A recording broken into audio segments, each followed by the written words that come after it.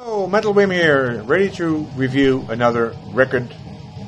Um, this one's released by Headbangers Records, amongst others. There's four record companies working together, and I've never been a fan of split singles, but I'd gladly make an exception for this one.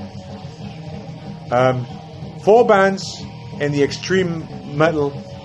Um, with Abigail, Whipstriker, Germ and Repugnatory. Sorry about the confusion there a bit about the name, but um, they're four really, really good songs. The first one you're hearing now, which is just good thrash, underground thrash. Uh, Whipstriker, which comes next, could have been on the first uh, Megadeth album, easily. Germ Bomb, it's like you're hearing the first Venom album. So, and then Repugnatory is pure heavenly noise. I don't know what to to say about that one. So, it's it's a bit weird, um, but I love it. Those four together are brilliant.